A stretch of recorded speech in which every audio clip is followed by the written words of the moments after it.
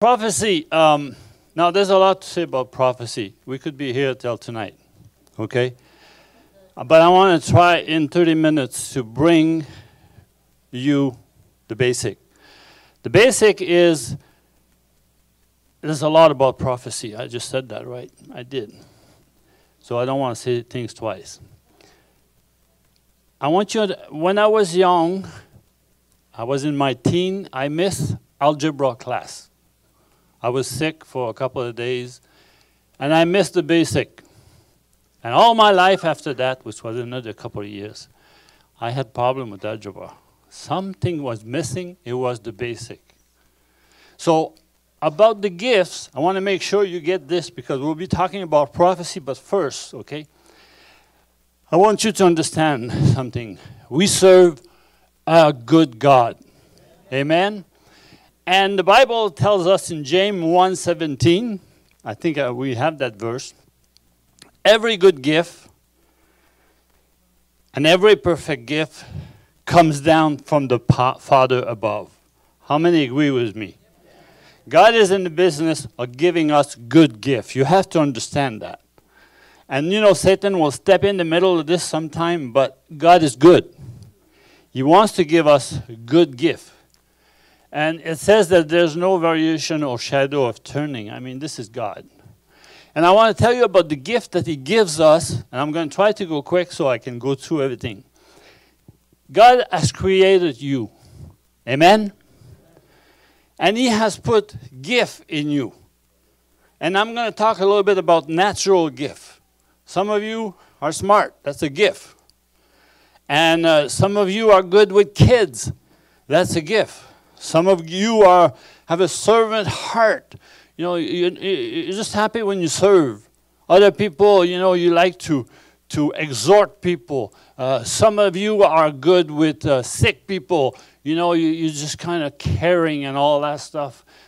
We all have gift, and if I were to give you the mic and you would say, "Well, I really enjoy doing this because I'm really good at it," that's a gift from God.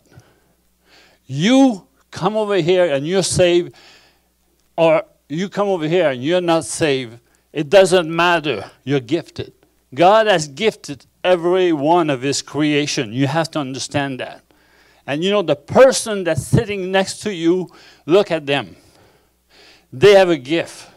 And it's probably just not the same gift that you have, it's a natural gift. You understand that? We have all natural gift. But that's not it. That's not everything He did. He gave us two more gifts. God loves to give gifts. And what he, he did, He gave us the gift of His Son, Jesus Christ. That- that's an awesome gift. John 3:16, you know that verse by heart. God so loved the world that he gave his only begotten son that whoever would believe in him will not perish. I mean, this is another gift besides your natural gift that you have if you want to. He put his son there on a pole for you. He gave him to you. That's why it's so important to say yes, Lord. Not run from God, but run to God. So that's one of the gifts. That is a supernatural gift. Now, the other supernatural gift is the Holy Spirit. Holy Spirit. He's the third person. And you know, I like this message because it, it shows the Father, it shows the Son, and it shows the Holy Spirit. Jesus said in John chapter 14, I will pray the Father, and he will send you the Holy Spirit. Jesus prayed a prayer, but the Father sent the Holy Spirit. He gave us the Holy Spirit, not Jesus. So the Holy Spirit comes and uh, he pours his gift, gifts upon you, upon you, upon us. And you know what? If you desire those gifts, they're there. You know, the Bible says to not to despise the gift, but to want the gift. To say, Lord, I need the gift. See, this church was started on the gift of the Holy Spirit. The things that happened in the past in this church, how God revealed Himself and how God has showed us and the prophecy and the word and the healing and the restoration, it's all because of that one gift that God gave us, the Holy Spirit. And He's poured all this gift. Now you have to remember there's counterfeit. Okay? And some people are so afraid of counterfeit that they won't even go there, which is stupid. Because if you got a bunch of money and there's counterfeit money going through, you say, Well, I don't want any money because it could be counterfeit. Yeah. Right? So it could be. So I don't want any. So it puts you in a place where you, you, you're not receiving anything. So, okay, so let's go. Uh, how are we doing? Okay, I've got my notes here, so I just got to stick by it so you understand. All right? Say that with me. Pastor, stick by your note, but not totally. All right. All right. So, okay, so let's talk about the gift, gifts of um, that Jesus gave us. Those are ministry gifts. Okay, and I, just want to emphasize that. Ephesians 4 8, okay, says that when he ascended on high, he, ascended, he descended on low. When, that's my version. When he came up from low, he brought gifts unto man. Now, these are ministry gifts, okay? Now, this is not the Holy Spirit gift. This is ministry gift. Ministry gift. And uh, the first one is apostle. The second one is prophet. The third one is evangelist, pastor, and teacher. We call them the five ministry gifts. Some of you know that. That's basic, but some of you don't know that. And I want to cover this that you understand that the basic you build on it. That's your foundation. Now, has nothing to do with the Holy Spirit, only has to do with Jesus because Jesus gives the body those gifts. And you know, you can have a room like this full of people, and there could only be maybe three, four, five ministry gifts in the whole. Because God will choose people not because they're better and better looking, He chooses them because He wants to cho- choose them. Ministry gift. Jesus came down the mountain and He picked His 12 disciples one by one. The Holy Spirit doesn't pick the Jesus because that's his function. That's his gifting. So he gives us the ministry gift. And you know, uh, pastor, apostle, prophet, evangelist, pastor, and teacher. Now, do you understand that? Now, those gifts are not for grab. Meaning you can't say, well, I want to be a teacher well, you either called by God to be a teacher or you can teach. You can be called by God to be a pastor or you can be a pastor. It is a fine line. I mean, these gifts, God, not God, sorry, Jesus brings and he picks the people. And I remember when he picked me, I was uh, just getting got saved and I was sitting down to read my Bible and I heard a voice go teach my people. Well, you know what? I argue with God a lot. I said, listen, I can hardly speak French anymore. My English is not too good. And I gave him a thousand reasons. I named all kinds of people that would be way better than I am, but he didn't give up. He didn't give up. So, so I said, after a while, the call does not go away. You can do a thousand things. You can pass a five, six years. The call of the ministry, if Jesus has called you in a ministry, this fivefold ministry, you better go for it because you won't let go. All right? So, um, So we see last week we had a prophet here. Two weeks ago, Charlie. The guy was good. I mean, he can read your mail just like that. He doesn't know you. And I mean, he just goes on and on and on. I can't do that. That's not my gifting. See, my gifting is was to teach the word. So I began to teach the word. Then God called us to pastor. And you know what? That's a calling, right? And you know why He called me to pastor my wife? Because I got a gifting, you know, a natural gifting. Things sometimes don't bother me. You know, I people can say things to me, and uh, it's like my gifting is I don't care. How would you like to have a gifting like that? You don't care. You know, people said things to me, people done things to me. They told me I was a lousy preacher, I'm not going any place, you should go back and do something else, and all that stuff. And I said, I don't care.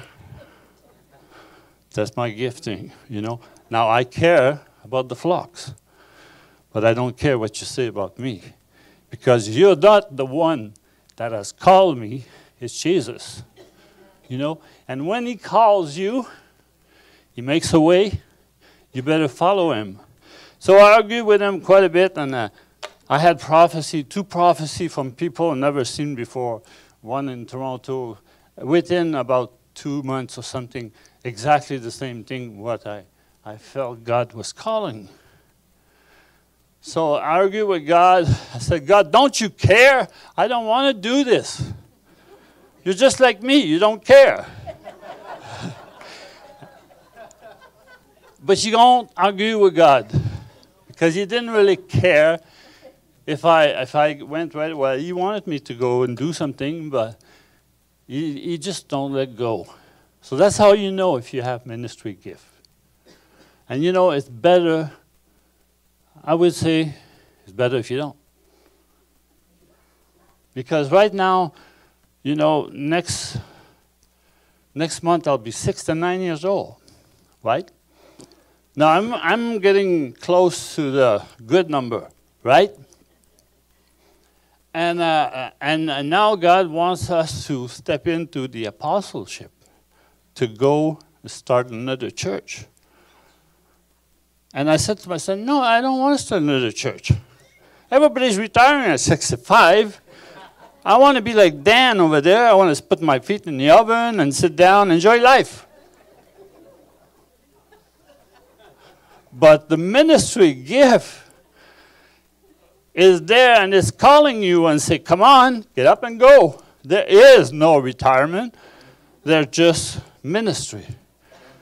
And you know, you just, so if you're not called for ministry, enjoy life. enjoy your natural gift. And uh, you'll be doing good. So, so those are the gifts, okay? They're for men, they're for women. God, God calls you. I mean, Jesus calls you. Who called Paul on the road to Damascus? Was it the Holy Spirit? Jesus appeared to him and says, Who are you, Lord? He said, I'm Jesus, the one you persecuted. He said, Go, I'm calling you, and I want to show you what you must suffer for my name's sake. Wow. Paul went to ministry that day. And Paul never let go. Paul worked in most of those offices. He, he was called to be an apostle, but he pastored, uh, he, he, taught, uh, you know, he, he was used as a prophet also. So we see that Paul's ministry was called by God. And, and this is meant by Jesus. And I, I tend to send, I'm trying to correct myself and say the ministry gift are for Jesus, from Jesus, okay? Sometimes I forget. So, um, Ephesians 4 12, you have that? The ministry gift the people that God will pick someplace.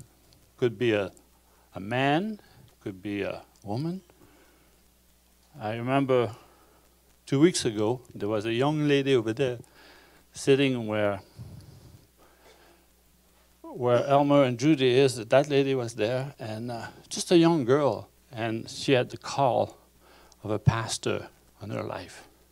She knew it too. I mean, the minute he, looked at her, she started crying. God already speaks to those person. The prophet just come or prophecy just come and just confirm what God has already said. So it's amazing to see God working with the Son and with the Holy Spirit. So, okay, uh, so it's for the perfecting of the saint, okay, the ministry gift that Jesus gave, perfecting of the saint, the work of the ministry and for the edifying of the body. You're the body. I'm the body. And those gifts that Jesus has, they're awesome. He picks people and he gives them anointing, and he, he, you know what I mean? He gives them the word, and they come and they minister the gospel to you. And they minister life because Jesus gives them life. Aren't you glad you're not in a dead church? Hallelujah. Because if you go to church just to sit there and just hear some message that maybe might get a piece here and there is not enough. You got to get enough that it makes you hungry, that it makes you thirsty, that you're not the little believer, that you, you, you know, you're strong, you're powerful, and you're mighty in God because the Holy Spirit dwells in you. And let's come to the Holy Spirit. Page three. The gift of the Holy Spirit. I should open my Bible to the gift of the Holy Spirit. Because to talk another about prophecy, prophecy is in the gift of the Holy Spirit. Okay. Now concerning spiritual gift, 1 Corinthians 12, gifts plural. Brethren, I do not want you to be unaware or to be ignorant. So God is saying, folks, don't be ignorant. I know it's not a good word, but that's what it says here. Don't be a fool, okay? You know that when you were pagan, you were led astray to the mute idol, however you were led. Now, let me tell you about my, my ancestor, my, my grandfather. My grandfather is a businessman. And where I come from, in the hill of Quebec City, south of Quebec City, there was somebody that saw the Virgin Mary appear someplace in the bush. Well, I don't know about you, but Catholic people believe in miracle. We believe in miracle before we were saved. So uh, people came from the state, they came from everywhere, and you know, they said, well, something has happened.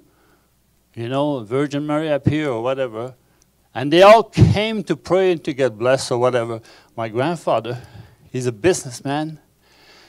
So he, he brought a little booth there, and he was selling a hot dog or whatever he was selling. And he was making money out of that.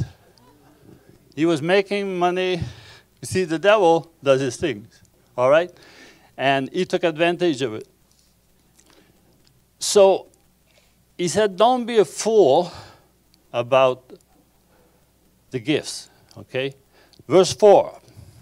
Now he says this There's variety of gifts, but the same Spirit.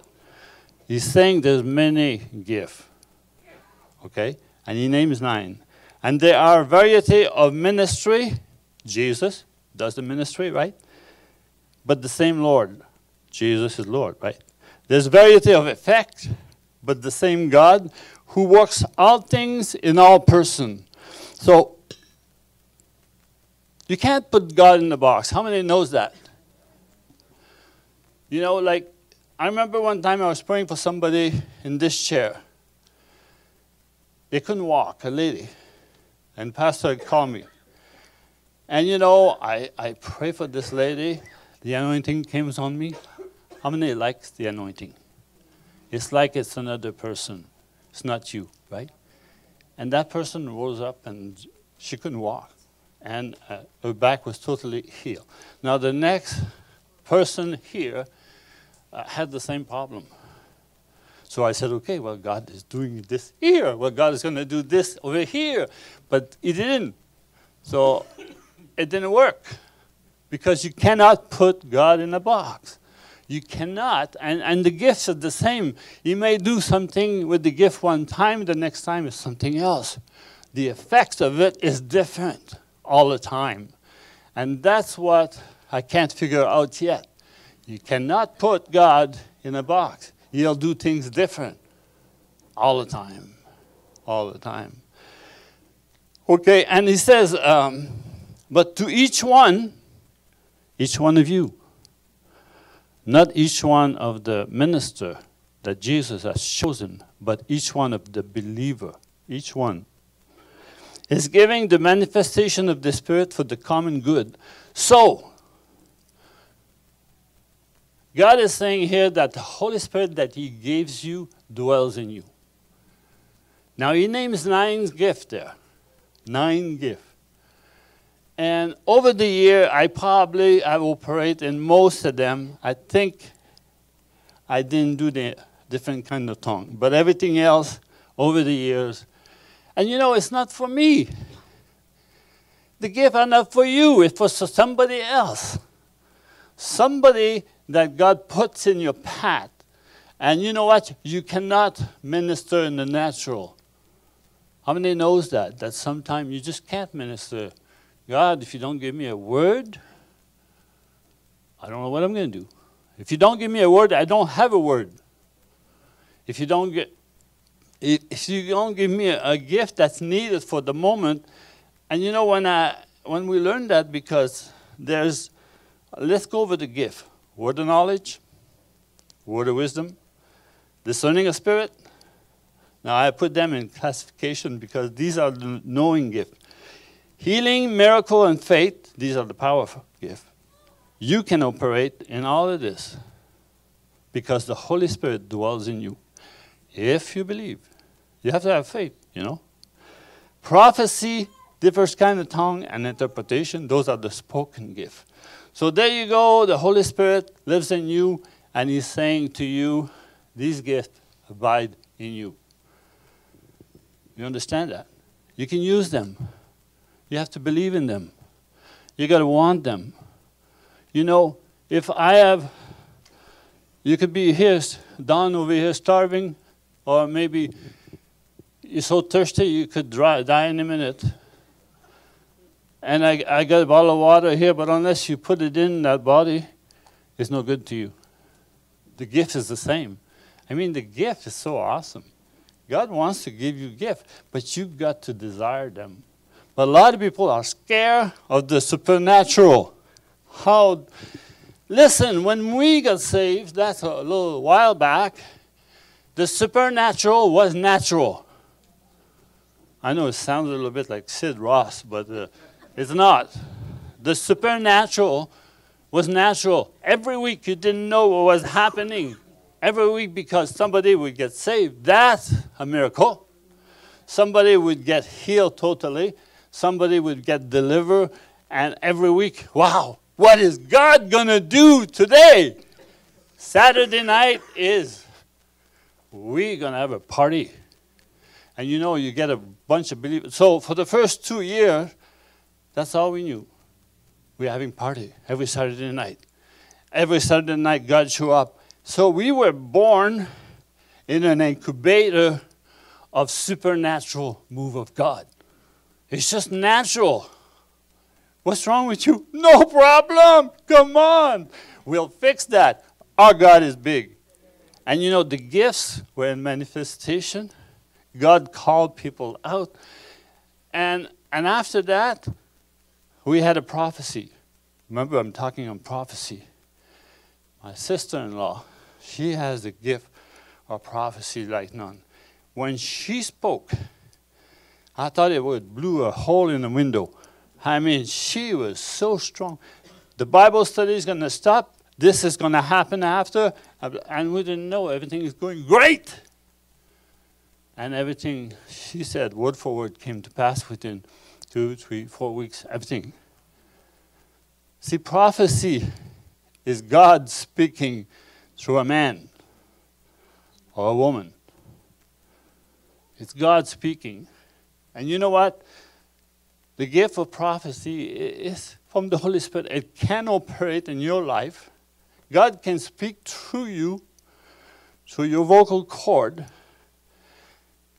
as you set yourself under some condition. There's condition attached. Did you know that? Wow. And I'm going to name them after. Okay, so how, how are we doing? So our salvation, our training was supernatural. So that's why when we started this church, I said, God, unless you build a house, not building nothing. Because if it's not God that does it, then it's a work of the flesh. Nothing wrong with work of the flesh, but work of the spirit, so much better. Because you know, you didn't do. So the supernatural, and I can tell you, Pastor Travis can tell you also so many things, and my wife, things that have happened, supernatural. I want everything God has for me. See, what He has started, I want Him to finish it. And what God is doing is, is because He's Lord of my life. And I say, God, yes, I missed it. Did you miss it? Yes, you miss it sometime, but you learn. So those nine gifts, they're for you. Tell your neighbor, those nine gifts, come on, tell them like you mean it. Yeah, that's for you. Uh, they won't believe you, you know.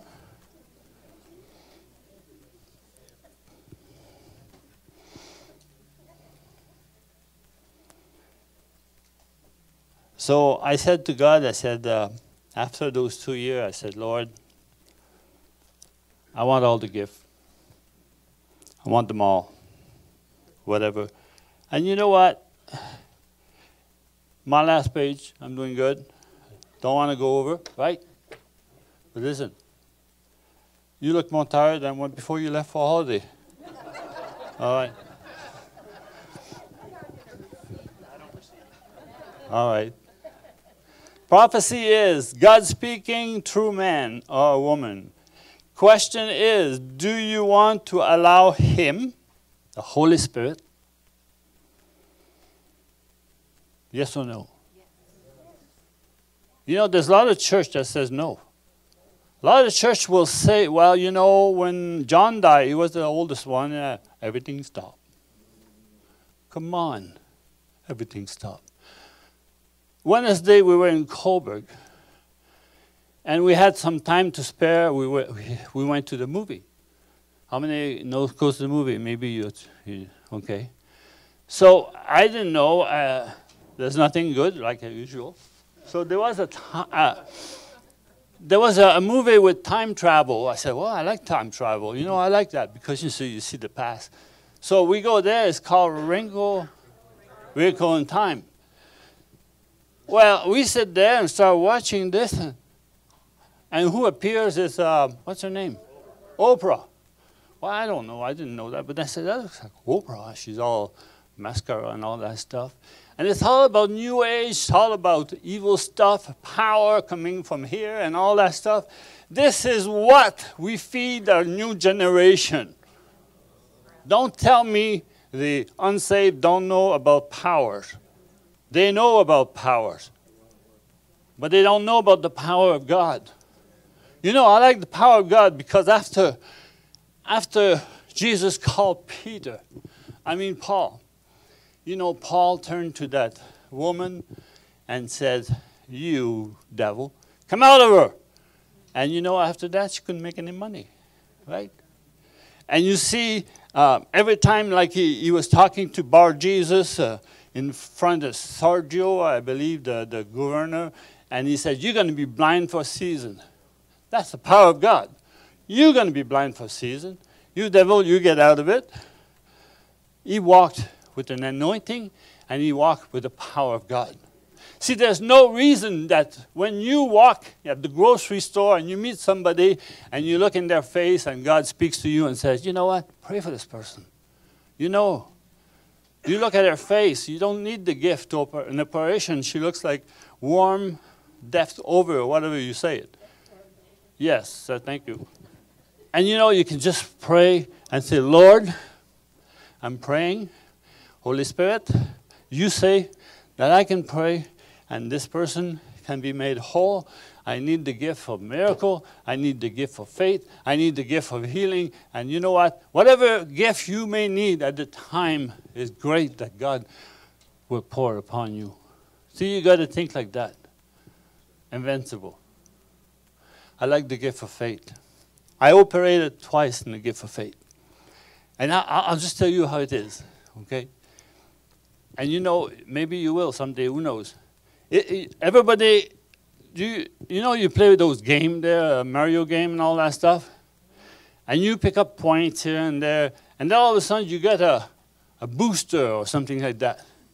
Is it what you call it? And you know, when you press on that, you got energy, you go shoom, and bing bang, and it goes, and it, the gift of faith is like that, friend. It, you just get out of the natural, it's totally supernatural. And you know that you know that whatever you pray for, whatever, I mean, if the person is dead in the natural, in the supernatural, that person is alive. It's amazing. So all these gifts are for us today. I'm not doing. Okay, give me five minutes more. I got one. Well, I got the bottom of the page. Okay, are you okay? Um, none of these gifts are for personal benefit. I said that. They are for minister to the unsaved and saved. The gift are to minister to you today, they're to minister to the unsaved. You know, when, when you go out witnessing and God shows you something about somebody else, you got a word of knowledge. That's my more or less gifting, word of knowledge. I can pick up somebody comes in with the wrong attention through that door, I'll pick them up in a second. My wife is the same. And then I'll be ministering here and I'll look at somebody and God said, This is what you have to do. This person is going through this. It's a word of knowledge, word of wisdom. I can't put them in a box, whatever, but it sounds like it is. And I've been operating in that, and it's great. Okay? Uh, so, let's finish with prophecy. Five minutes. Prophecy, let me see. You need training. You know, I went to a church one time. After two years, we went to a church, and uh, there was no training, but it was a Pentecostal church. Was a lady was there, and she prophesied, and she sounded like a chicken. and and I, I said, well, I, I said, don't despise prophecy, right? Uh, maybe she had it wrong, or I don't know. Now, if she would have went, I would have said, well, I don't know about that. But I said, okay, well, maybe, maybe she needs a little more practice. Somebody interpreted. I didn't look down on them, on her, on nothing. But then we we went to Mississauga. I got five minutes. and when we went to Mississauga, there was a lady in our church. We sat with her all the time, Mary. Mary Audrey Raycroft. You may have heard of her. And Mary, she said, I'm doing the gift of the Spirit. Would you like to come? Sure. Never took the gift. I mean, I saw God move. I saw something, even sometime I had a little bit something in me, right? So we went and we were trained over weeks how to, sometimes you just got to let it go and sometimes you got to hold it. Is there some phrase that goes with that? Right? I heard it, but I won't say it. Uh, so these are the condition about prophecy. Listen. Um, you need training. I need training sometime because you have to come under someone and be accountable. Now I'm just saying all those things because prophecy, it's in you. You don't want to use it because you're scared of it. You don't want to give it. You don't want to say nothing. Keep your mouth shut. That's better. You don't get in trouble. There's different of delivery and different time. You can't just prophesy to anybody anytime or some things you don't want to deliver. You got to ask the boss, Holy Spirit, I know this about this person.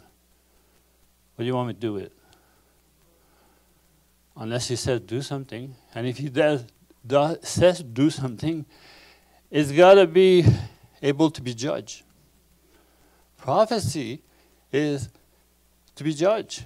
So if you tell your wife a prophecy, just put an example, you know, and uh, you know we all hear you and say, "Bill, you you're full of ice cream.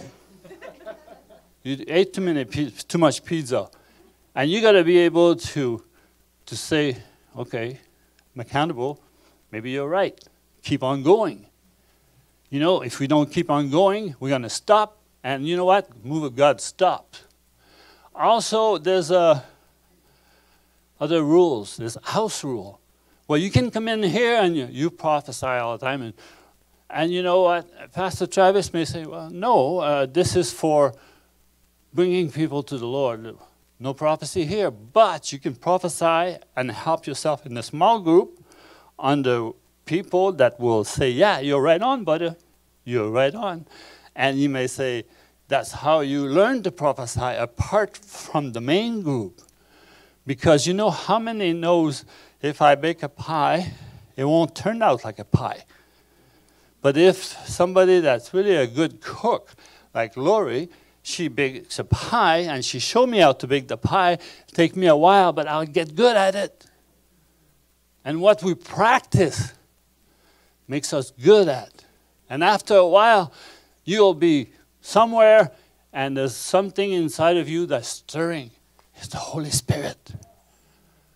You know, Kathryn Kuhlman, she might have been very flamboyant and all that stuff, but she could hear the Holy Spirit. And when she heard the Holy Spirit, she did. And she wasn't sorry, she just did it.